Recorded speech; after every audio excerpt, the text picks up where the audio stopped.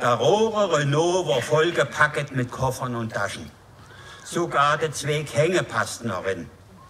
Dann ging's los auf der Autobahn in Cuxhöne Richtung Süden. Meyers wollten in Urlaub in den Gardasee. Alles war exakt geplant. Ö, eine Übernachtung in Österreich in einer kleinen Pension war gebucht. Da wollten sie so gehen oben sind. Es dauerte aber nicht lange und sie hingen im ersten Stau feste. Die Känge knabbelten als zu schon. Wann sind wir dann endlich da? Meier schwor noch keine Stunde unterwegs. Der Stau löste sich ganz langsam auf. Es war eine Baustelle gewesen und der rohre Renault süßte mit überhungert Sachen weiter und konnte den einen oder anderen LKW überholen.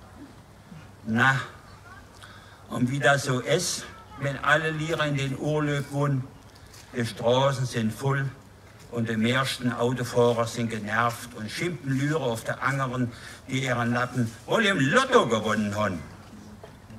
Als dann im Radio der nächste Stauohren gesagt wurde, den Meier auf den ersten Parkplatz gefahren für eine Bibi-Pause und im Lehrer genommenen Stullen mit der ahlen Wurst, wo er frühstücke. Jo, hat der Meier nur ein paar Minuten geminnt. Jetzt fahren wir weiter.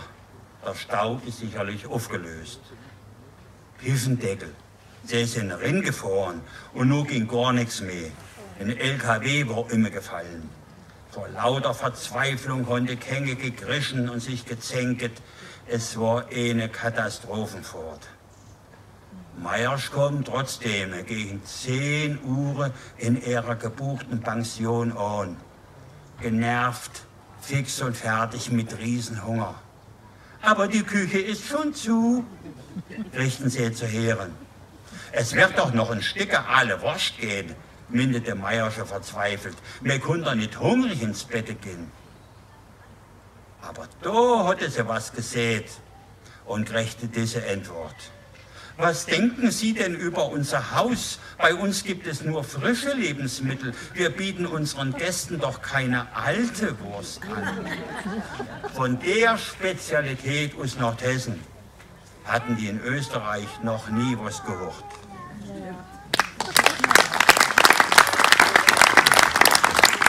So,